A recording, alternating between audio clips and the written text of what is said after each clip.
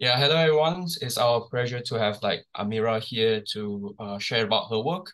So today uh, she will be uh, sharing about um, like talking about like whether like current uh, quantum gradient extraction protocols will um, kind of like have like obeys the backpropagation scalings um, and then it's like how we can use like shadow tomography with like quantum memories and then you allow us to like kind of like deduce some efficient like uh protocols that utilize less quantum resources in the expense of like uh, many like uh classical resources. Um, maybe like Amira can talk, take over the floor and then start your presentation. Thanks.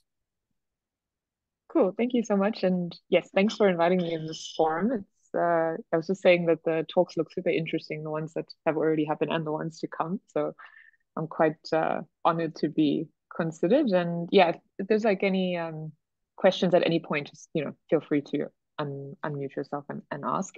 And I hope it's okay that I might also ask you some questions just to see if uh, what I'm saying makes sense. Because yeah, I have to give this this presentation again a couple of times. So I want to see like uh, if there's if it's ever unclear. So okay, so this work, um, as you know, like this is the title. Here's the arXiv link, and it started as a, um, an internship project that I was doing with the with the team at Google, and then some people from Caltech um, jumped on board. So, like in particular, like Robbie and I really, I think Robbie did a lot of, of work in the paper as well. So, uh, okay, good. So yes, so I'm a postdoc at Amsterdam now, and um, let's.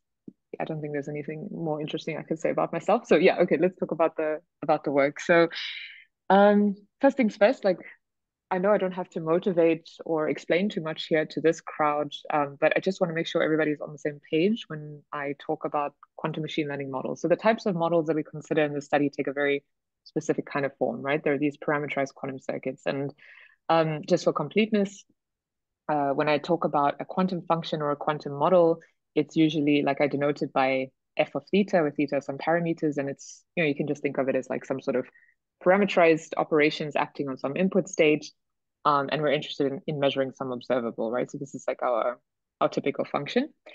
And yeah, I mean, this thing pops up.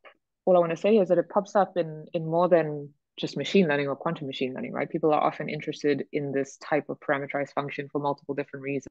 Like um, maybe they want to simulate some interesting dynamics or um, learn some ground state energy of, of um, some Hamiltonian or something like this. Or maybe this um, parameterized circuit can kind of encode some sort of optimization problem and one is interested in approximating a solution for this and so on. So there's like a lot of um i think use of this type of function in in uh, in quantum computing.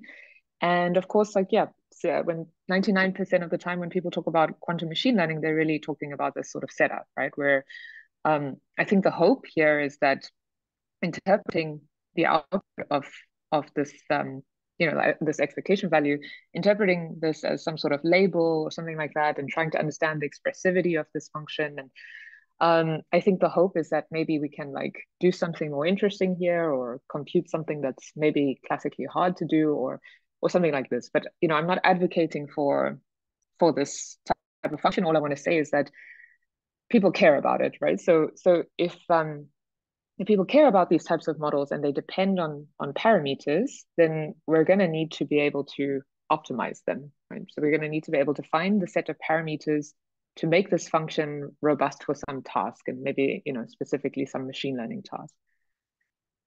Um, okay, so optimization, you know, typically, um, at least classically, what is the most common way to to optimize parameterized functions? And I think this is largely where gradient-based methods come in. And um, and why? Let's just say a couple words on why. So um, classical gradient-based optimization, I think, has been super, super successful in history, right? So if we look at, for example, this this uh, timeline of of machine learning or deep learning models and all these really amazing advances that we've been able to accomplish, now I think you know we're we're at the stage of these large language models with, if I'm not mistaken, maybe even have trillions of parameters in them. Um, this was really largely due to the fact that we can optimize these large large language models or large models, right? I mean, they have so many parameters, and the fact that we can optimize them using sophisticated gradient-based methods is really the key. And the algorithm responsible for this optimization is called backpropagation, right? So I think most people already know what backpropagation is, but what I want to highlight in this slide is that like we knew about perceptron models, neural networks for a while, but it was really up until we could like physically optimize these models and train them did all the success follow for um, for deep learning and, and neural networks and so on. So yeah, so backpropagation, I mean, it's it's pretty simple, right? It's a it's a recipe to compute gradients um, of some parameterized function. And I think what I want to say is that it's also um, computationally efficient to do so, right? So this is the key. And a couple more things is that, you know, a lot of people say that it's just um, it's just the chain rule, but I think it's a little bit more sophisticated than that in that um, information is computed in a function in a very clever way such that it's like sort of re, it's stored and reused to compute gradients and this is where this efficiency comes from. So it's not just the chain rule it's also like information uh, reuse in in a in a model. So this is i think quite quite a nice uh, property of backpropagation okay so what's the problem with um, with quantum gradients and specifically the model that i i just presented to you um, okay, so let's talk with a little very simple toy example of one qubit, the nuance of, of quantum gradients. So imagine I've just got like one qubit that I start off with in the zero state, and I just do one parameterized operation, right? So maybe it's like some sort of rotation that's parameterized by uh, a scalar value theta. And then I call this like my parameterized state. Um, so if I had to draw the circuit, then you know it kind of looks like this this rotation about some axis, and this depends on some some value for theta. Um, so I can explicitly write out the gradient with respect to this state, right? I mean, it's pretty pretty trivial. We can like uh, drop down this minus i x term here and uh, express the gradient like so. And then if I, let's say, want to measure some particular observable, like some, let's say the, the observable interest is is the z operator, then I can write out my function in terms of this, um, you know, like this parameterized uh, model I spoke about in the beginning. And we just have one parameter in the, in the model, and this is our observable of interest. So if I can write out this expression, I can now write out the gradient, right? And I can use the product rule to just very nicely and easily write out the gradient. And I can simplify this task of estimating the gradient of my function with respect to my parameter by setting the theta to zero and then just looking at and evaluating this quantity here.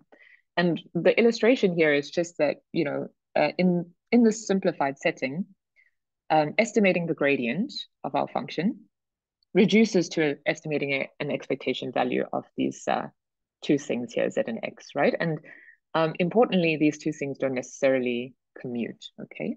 So this is for one parameter. Um, okay, so if we have multiple parameters in the circuit now, so let, let's say instead of just doing a, a single rotation about the x-axis, maybe we do another one about the, about the y-axis, and we have two parameters in there, then, you know, I, will save us the time and pain of like writing out each um, each derivative, but we can express each gradient with respect to each parameter in a similar way, right? It kind of all reduces in the simplified setting. If we set everything to zero, our parameters to zero, we end up with the same task of estimating expectation values for each um, each gradient component. And so like if we had, let's say, m parameters in our model, then we'd have to estimate in this naive way, we'd have to estimate m expectation values, right? So um, and these are with respect to operators that don't necessarily commute. So this gives a little bit of intuition as to why, like, um, you know, things are a little bit more nuanced here because when we're dealing with with quantum states and um, things like that, we kind of have to sample.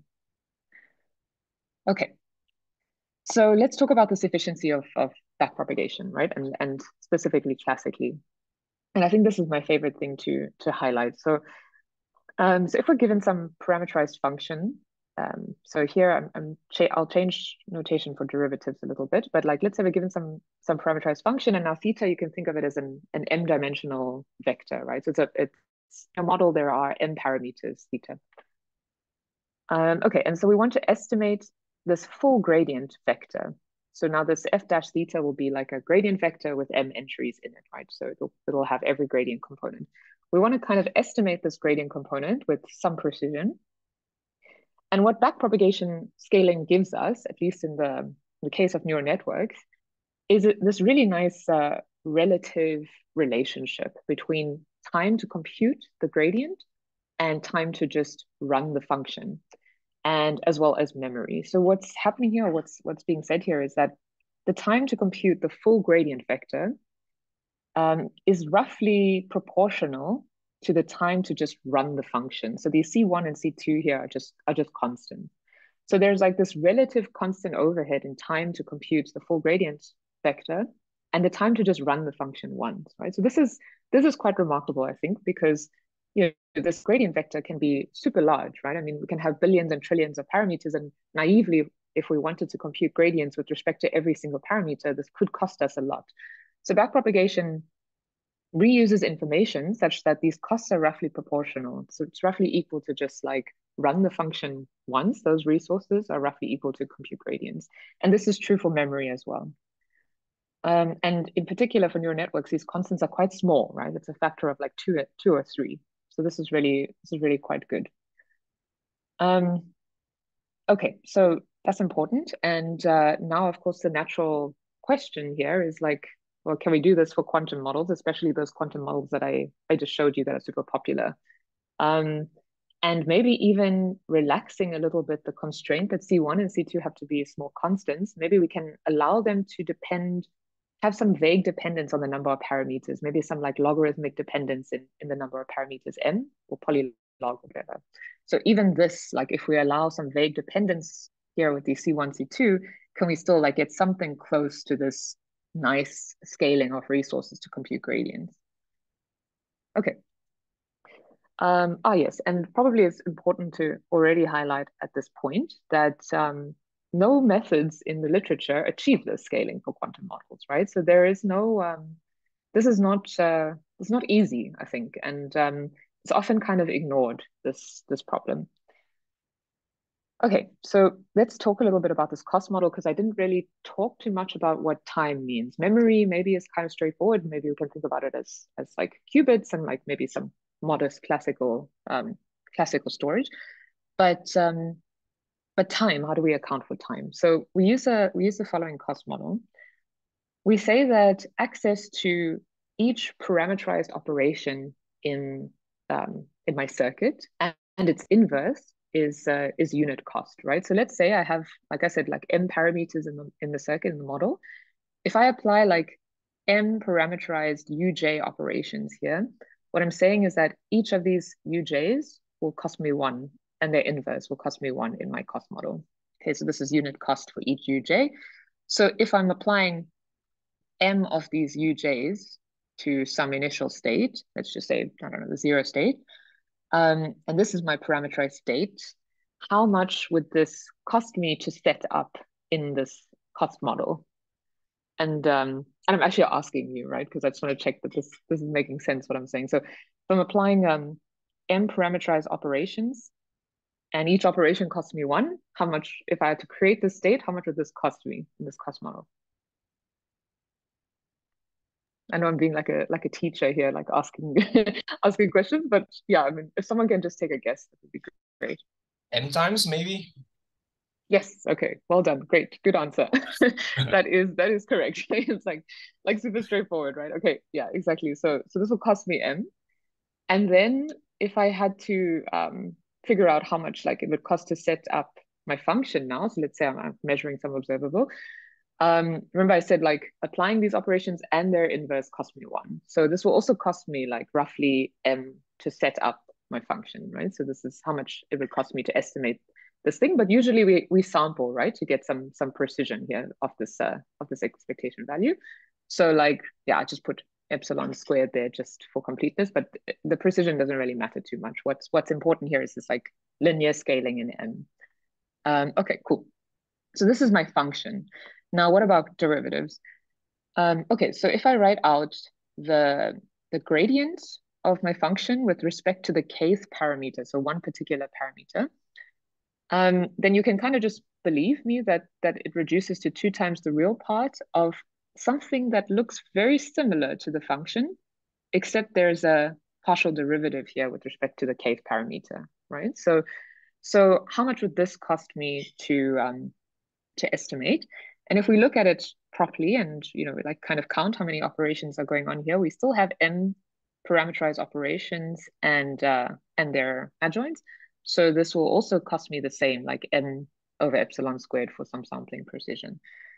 Um, okay, good. But the key point here is that this is just for a single gradient component, right? This is just for theta k. So if we had to now go and estimate for every single parameter, we'd get a cost that sort of scales roughly like quadratically in the number of parameters, so m squared for the full gradient. Um, okay, so you might think like, well, this is not so bad, right? I mean, this is just quadratic and this quadratic to linear like doesn't really matter so much because, I mean, it's still, you know, com uh, computer science perspective, it's still efficient. Um, and so like the scaling we get here is the time to compute the gradients, like m squared, which is m times the time to compute the function, right? So so the remember we want like something constant here or polylogarithmic in m, not linear. So it actually does matter that we have this like quadratic scaling because if you remember classically, these things are roughly, uh, you know, the time's roughly proportional. We don't have this factor of m here. And this makes a big difference. So like if we look at um, at this graph that has time on the on the x-axis, and for a particular like amount of time you have, what this graph is saying is how many parameters you can train in your model if you have like an, an idea of like ideal quantum backpropagation is the green cross. And red cross is um, is the parameter shift rule, which is I think what people mostly use in practice on these on these um, NISQ circuits to train their models. And the parameter shift rule has this like bad scaling, this m squared scaling that I talk about, this quadratic scaling. So for example, if I had a day to train my model and I could only do it with this quadratic scaling, I can only have a model with 9,000 parameters. I mean, this is just crazy, right? There's no way we're going to be able to benchmark um, even when we have bigger, better quantum computers, there's no way we're going to be able to optimize them using gradient descent and compare in a competitive way to neural networks if we if we don't get rid of this like quadratic scaling. Okay, so there are a couple of things that we just highlight in the paper, which I think, you know, in hindsight is actually pretty obvious. So we kind of just collect um, a bunch of results and paraphrase them in this gradient language. And so there's already a, a couple of interesting things you can say if you are in different settings. So let's let's talk about those settings. So so the first one is um, you can imagine that the input state that you start off with is known to you, right? So this is like sort of what I've been talking about in most of the examples. Like we have some parameterized operations that we apply to some known input state. And I've been assuming this input state is the zero state, right? Um, so yeah, so in short, you know how to construct this this thing. But of course, this can the setting can change to something more general, right? Where maybe you're just given some sort of um, input state psi, and you you don't actually know uh, anything about this state. Maybe there's some guarantees on how it's generated or something, but you know this can be quite general. You could just be given some arbitrary states, and then you apply parameterized operations to them. Um, and the state maybe you know doesn't even necessarily have to be pure. Um, okay, so these are like two different settings. And then on top of these settings, you can make some assumptions um, about the type of access that you have to these states, right? So maybe you can assume only single copy access at a time, meaning you can only measure like um, one copy of your of your state at a time. Um, but of course, more generally, you can also make this assumption of quantum memory that people make, right? Where you have like an ability to measure over it's a product of, of some number of copies of, of your state. Okay, so within these settings, there's already a couple of interesting things that we can say. So first, let's start with this, um, I think, very general setting that is practically relevant. And what I mean is like, you know, usually it would be nice to say something about backpropagation in the case where we don't want to make any assumptions on the input state that's given to us. And we want to be able to, you know, implement this kind of thing in a lab, which I think at the moment, measuring single copies is probably the most realistic setting we have um, to, to implement this like sort of if we can do backpropagation. So we want to be able to like have a general statement about psi, and we want to be able to like ideally measure single copies and be able to do backpropagation. Um, but unfortunately, this is not possible in in the general case, right? So everything I talk about here is like trying to make backpropagation work in the most general setting. So unfortunately, in a in this setting here, like um, where we don't make any assumptions about psi and we can only do single copy access, there is um, a lower bound that comes from uh, yes, this paper over here that basically tells us if we take, for example, um, if we assume these like parameterized operations are, are um, Pauli op operations, um, we can kind of uh, we can kind of extract extrapolate this like sample complexity here to tell us that the cost for our um, our gradient estimations in in using this uh, is already like something like m squared. So this already tells us okay, in the most general case where we you know where we assume some some general assumptions about the form of this of these u thetas, um, yeah, we we we won't be able to to do this um, if this input state is just like unknown. Okay, so this is to work. Um, then the next thing that we kind of show or, or iterate over is okay, what what if we make some assumptions about our, our input state, right? Like maybe we know it, maybe we know how to construct it, maybe it's um, guaranteed to be of a um, of a certain form. And yeah, I think we kind of just show that um, iteratively that this will also still be computationally hard in some sense to be able to get backpropagation scaling in this scenario as well. So we can like discuss the details of this, but like um, we kind of show that existing gradient methods uh, fail, and um, we use some other results from other papers to show like um, again what the sample complexity looks like, and then what our cost looks like, and we can never just get this down to linear scaling or even quasi-linear. Um, okay, so uh, ah yes, and uh, something I think is cool that's kind of mentioned in the appendix of the paper, which might be relevant for um, for this crowd. And you know, if there's interest, we can maybe talk a little bit more about it. But um, interestingly, like even if you assume your state um, comes from like a circuit of polynomial complexity. So like, what do I mean? Um, you have some finite fixed gate set and the number of gates to create your states scales polynomially in the system size n, right? So you apply polynomially many operations to create your, your state. Um, so psi is generated from a polynomial complexity circuit then you can show that you can like actually um, uh, maybe learn is not the right word, but you can actually like measure efficiently, like enough. You can you, you can do like logarithmic number of measurements to ex to be able to explicitly learn psi. So you can like learn psi information theoretically using classical shadows, which I think is quite cool.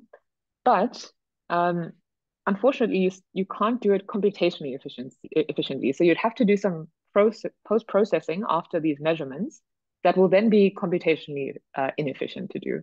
So like this was like a positive negative kind of thing because if we could have um, done this efficiently, information theoretically and computationally, then we would have solved our our backpropagation problem here. So this is a bit unfortunate. Um, okay, but doesn't really matter for the story. What matters for the story is that this also doesn't work, right? So basically both of these scenarios don't don't necessarily work very well when we have single copy access. So, okay, of course, the next natural extension or question is like, well, what happens when we get even more general and we allow um, quantum memory, right? If we allow multi-copy. Um, but maybe just pausing there, like, you know, why is it not so straightforward? Um, especially when there's so much overlap in our function and the form of the gradients, right? There's so many repeated operations in here that you would naively expect a lot of, um, you know, the ability to be able to reuse information to compute gradients in a more efficient manner, right? So this is like, this is quite disappointing that we we don't do so well in the single copy setting. And I think the reason is quite um, quite straightforward, is that when we measure, we destroy information, right? So it's really hard to, to reuse information in a circuit um, because we destroy it. So the intuition of um, doing better with, um, with multi-copies is that now we can start to design measurements um, that don't destroy our information completely. And if they don't destroy our information completely, then naturally we can reuse it again to compute more gradient components, right? So this is this is the idea of why we would expect to do better. Yeah. And um, and yeah, drawing largely from a bunch of other you know successful papers that show that with multi-copy measurements, you know, even this ability to just do measurements over two copies allows us to like already show some separations in learning tasks that um, classical learners and quantum learners, you know, like there's a separation there. So quantum learners can do a little bit more sophisticated things with access to multi-copy measurements. So drawing on this kind of success, um, in the simplified setting where you know we assume our parameterized operations are Pauli operators, we can already show using like some um, some routines in in this paper that we can get actually this backpropagation scaling, something logarithmic in M here. So we can we can do this for this restricted setting where we assume we just have Paulis, but like what about if we move away from this? And um, if we move away from this and we you know make some statements about more general um, more general operators that we want to want to measure in our circuit, then things get hard again. and you know, like you you kind of have to then question, well, like, is there something uh, deeper going on here that makes this gradient task so difficult to get down to linear scaling? And um, and then I think yes, the answer is yes, right? And so what we show is that there is a deep there is a connection between this task of estimating m gradient components and the task of shadow tomography, which I think is the last thing I will I will say. So so what we show, and um, yeah, I'm sure most people already know this this problem of shadow tomography, but I'll state it in very simple terms here, just for for completeness. And if you're interested, you know, it comes from this this work of Scott Aaronson. Um, the shadow tomography paper is like imagine you've got a bunch of two outcome measurements, and you've got a number of copies of some state psi, right? So you've got some copies, and you you've got some two outcome measurements that you're interested in in in measuring, right? So, so I call these measurements here E1 to EM. So there are M of them. And the task is then to estimate, you know, um, so, well, I guess output some estimates, which are called B1 to Bn, such that these estimates are kind of close to these expectation values that you're interested in, right? So, so these are these EKs. And you want to estimate all of these things with as few copies of your input state as possible. So you want to kind of minimize the number of copies and you want to be able to extract all of these, um, these expectation values with some, some precision. So this is the task of, of shadow tomography. And what we show in the paper is that, you know, basically if one had uh, an ability to estimate gradient components, then um, you can also kind of solve the shadow tomography problem with respect to a certain class of observables. We call these polytime observables, which are they're quite general.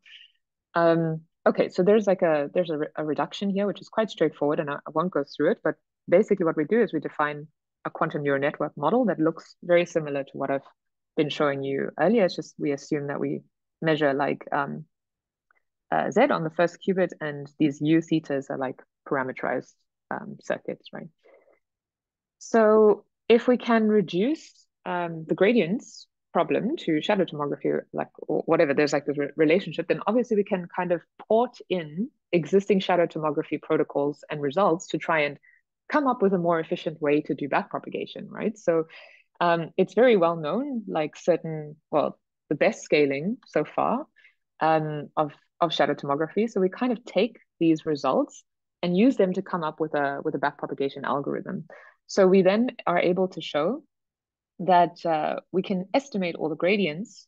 Um, you know, if we have m gradients, we can kind of estimate them with some precision using um, a certain number of copies, which comes, uh, I don't have the reference here, I think it comes later, but it comes from a, a paper from Ryan O'Donnell and, and some other people. And um, and basically using this number, the sample complexity to solve shadow tomography and hence the gradients, um, we can kind of get down to a cost that is quasi-linear in M, capital M. And this is in line with our backpropagation uh, scaling, right? So, so this is the first, I think, proposal for backpropagation that is close to linear in the number of parameters times the, you know, the time it takes to compute the functions. I think this is the, the best proposal for, for gradients so far with a massive caveat. Um, the caveat is to make this thing work.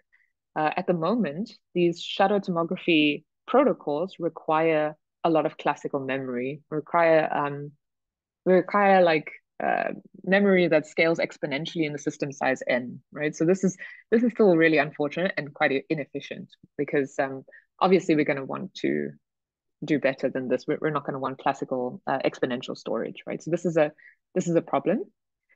And where does this come from? Um, and in general, sorry, I should also say that this is not something that's easy to get rid of. In general, one cannot get rid of this actually. Um, otherwise, I think we violate some like fundamental assumptions in, I don't know, um, yeah, I don't know, complexity theory or something like this. So um, where does this thing come from? Well, the this is a snapshot of our like we call it quantum efficient backpropagation, but we still require exponential uh, classical memory, right? So it's not actually totally efficient.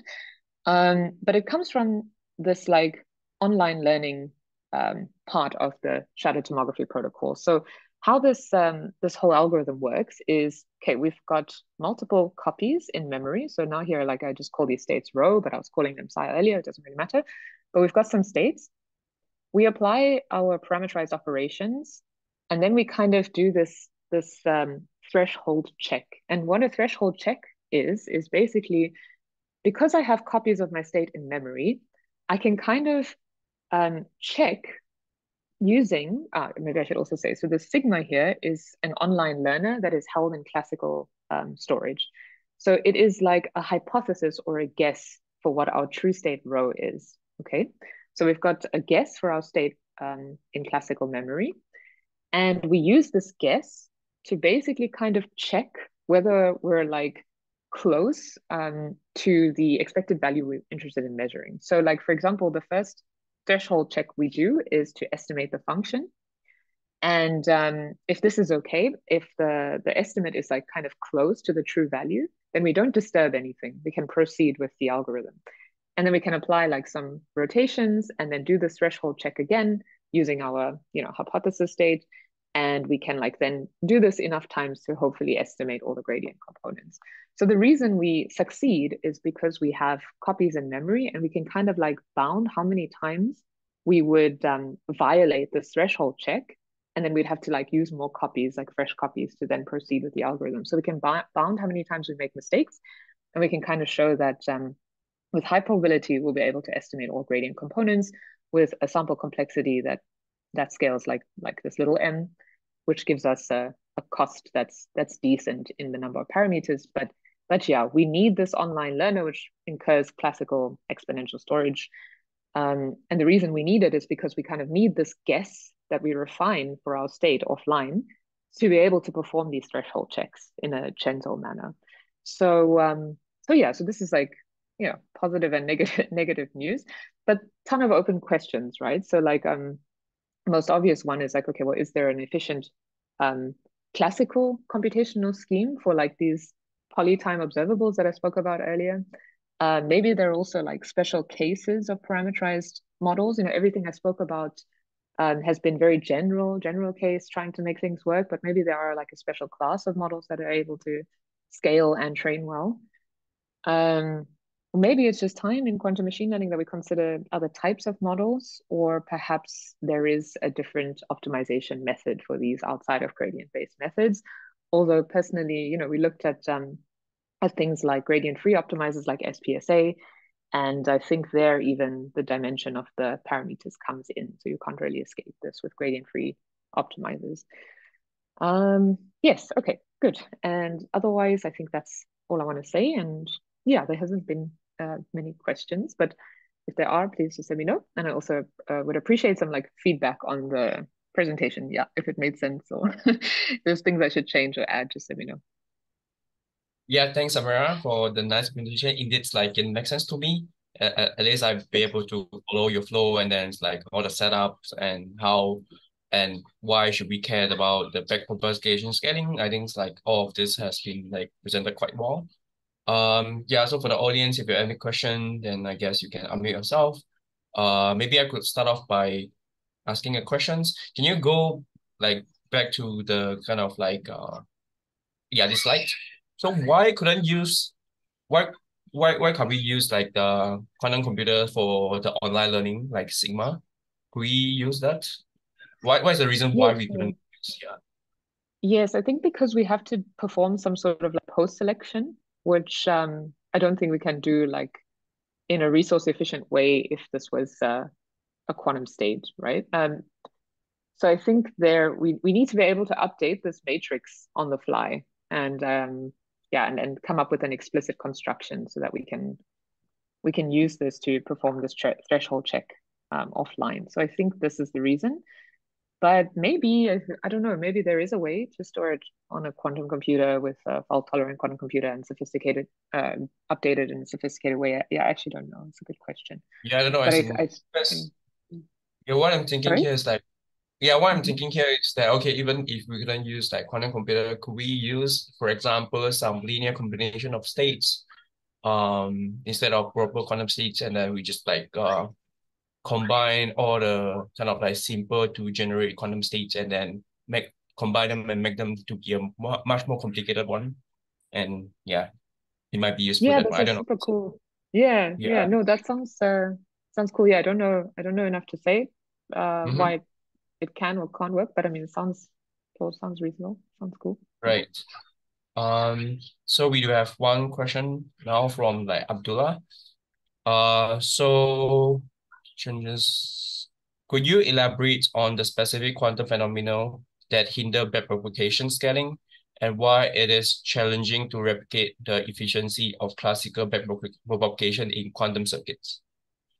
Yeah, sure. I think um, I think this this largely lies with um, with the measurement problem, right? The fact that when we measure, um, we destroy our information, right? Whereas on a neural network, you know, there's a lot of redundancy within the function. And so like as you you can kind of track the values of the function as you compute it, right? So as you like you think of a neural network, as you go to each layer in the network, you can kind of keep track of the values of things. You can you can hold these in classical memory.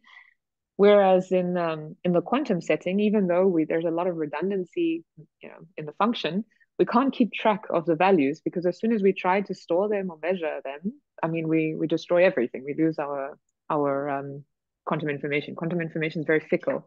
So this is like the the natural inhibitor, right? I think this is the problem, is really that um, that we destroy information and um, and yeah, I guess uh, trying to get around this problem is exactly what what uh, the reason for having multiple copies in memory is for, right? Now, when when we have multiple copies, this is strictly more powerful than just a single copy. And now the idea is like, can we design measurements that are kind of not destructive, but also get some information out to compute gradients so that we we reuse again these these states in memory. So we reuse information much like a neural network can can do. So this I think is the is the idea. Um yes, I'm okay, so I'm not that familiar with this type of measurement setup, but then would non uh demolitions like uh, measurement would help in this scenario? Like could we design some protocol that's based on this uh measurement protocol and that extract um the gradients without disturbing the states, for example? Sorry, what kind of measurements? I missed the first part of uh, no, no, non-demolition measurements non-demolishing measurements? You mean like gentle measurements? Um, okay, I'm not too sure if these two are the same thing because um, I remember for non-demolition measurements, you are cup um, basically each time you measure it, you wouldn't like disturb it too much. Uh, and then it's right. not like doing for multiple copies, so I'm not too sure if these two are the same thing, but yeah. So at least so like mean... uh, mm -hmm, sorry. Yeah. yeah, go ahead. Oh, so you mean like by not disturbing too much, you mean like you can kind of um, say how close you are to the state in some distance, like trace norm after you measure it? Mm, yeah, maybe. Yeah, this one I have to go check out because like um I just this like this kind of measurement protocol suddenly pop up on my mind after you say like because of the um like the, the destructive effects of measurements. I remember there's one type of measurement that's like that don't really have this uh issue, but then of course there will be some kind of like constraint for those kind of measurement that we uh we have to go and check out. Yeah. Yes, um, I think um, they're the same. I think they're the same as these gentle measurements which are used in okay. these uh, shadow tomography right. protocols, right? So there's a trade-off though, like um how much you disturb the state and how much information you're able to extract from the state or even copies of the state. So so yeah, this is this is quite a tricky um relationship to manage. Yeah. We okay, so maybe I'm asking some stupid questions. Like, so we could uh, do some approximate cloning, right? Like, could we use this approximate Okay, no, this yeah, the this the the the um, the issue is not coming from the state. Yeah, so ignore the question just now. Uh, we do have a follow up question from Abdullah actually. So the paper highlights that current gradient methods fail to achieve backpropagation scaling for variational models. Could you elaborate on the limitations of existing gradient methods and what potential avenues for future research or alternative approaches uh, that might be possible to explore to address this issue? Any future work? Yeah. Yes, okay, that's a good question. So like I think I think the um the way we kind of iterate uh, through all the existing um, approaches for gradients is um, pretty pretty much leveraging already like results that that are out there and pretty straightforward. Um, you can kind of bound um, like the query complexity of those parameterized views to like extract um, to estimate uh, expectation values. You can kind of like you know get a, a, notion for query complexity, and then you can like sort of um, work to get the time complexity, and then show. I think that the best you can do. Um, there there are some known lower bounds, and the best you can do is like square root of m times the time it would take to compute the function, right? So we want we want something logarithmic in m. So this is this is I think pretty straightforward. I think it's like in in one of the remarks of our paper. Um, but in terms of like the more interesting question, I guess is like, well, what can we do? Um, are there better methods maybe or um, something else? And what I think might be an interesting option is to, um, in this setting here, maybe find a better way to store this sigma um, matrix classically, right? So like in the classical shadows, the there's still classical storage that one needs, but it's efficient, right? Like they, they don't need to, to explicitly store a huge density matrix.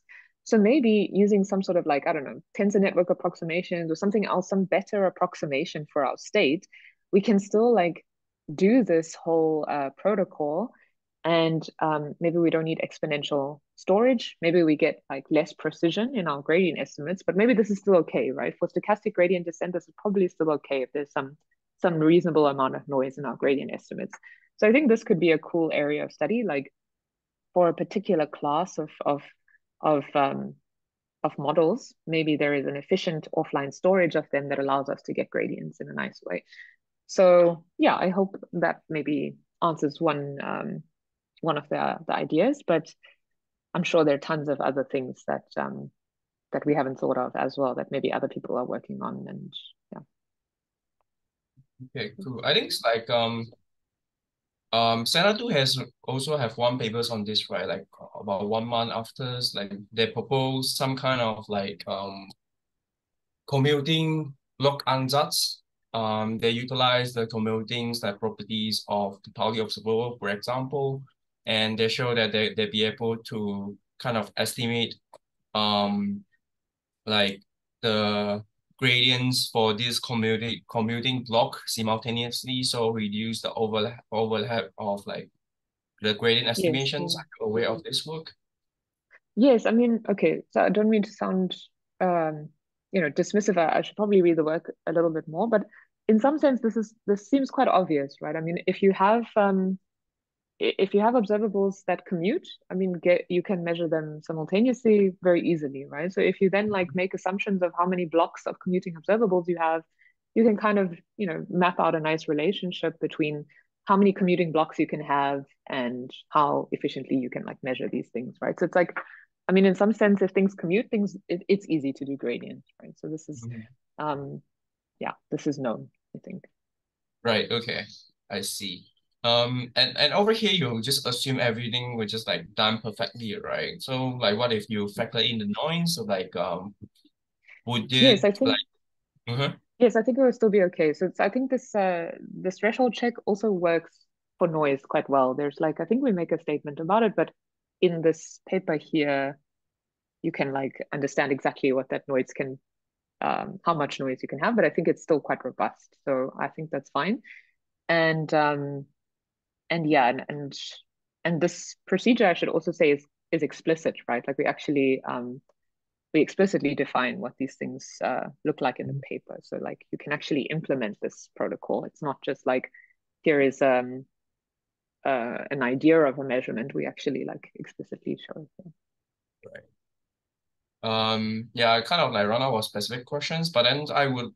So it seems mm -hmm. like from your work, it's just like oh, uh like optimizing like less alone like just don't care about like band pattern at the first place. Like getting a gradient uh for each of the parameters is is a huge bottleneck and if we didn't like um find a way to resolve this then it's basically pretty tough to to scale up like variational algorithms I would say right?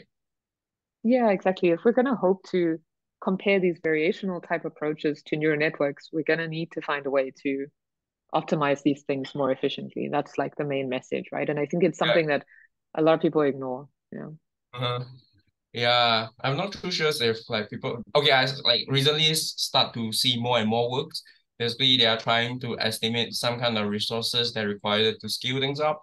And then like from all the scaling, it doesn't really looks like to me because it's required quite a lot of resources to scale things up. Yeah, and then mm-hmm. like currently we can only like do some small scale implementation and yeah, I just hope that someone would be able to come out with some interesting protocol that allow us to extract things like efficiently. Okay. Yeah, and, yeah. and yeah, I think, mm-hmm. and, and this is also going to be problematic even if we have like perfect quantum computers, right? This is also something, I mean, it's not just a NISQ problem, it's like something that will happen um, if we're using gradient descent, this would be a problem. Yeah. Yeah, just like we, we need a complete, like just uh, like what you have mentioned in your last slide, we, we need to find some uh, alternative or completely new type of like machine learning al quantum machine learning algorithm that will allow us to like get around this issue. Um, yeah. Okay. So mm -hmm. yeah, before we go, Abdullah actually have also have one general questions. Uh, so what is the future of QML in fault tolerant era, especially when a lot of work on like uh error collections uh, quantum error correction is being carried out. Um, so I mean, I'm is, yeah, this this is anyone's guess, right? yeah. Um, uh, the future of quantum machine learning in the fault tolerant era, I I would say I don't I don't know. Like I think it's very hard to say. I personally feel a bit that like quantum machine learning has been very hyped. Um, you know, in the last couple of years and we haven't really delivered on stuff that we can do that's interesting.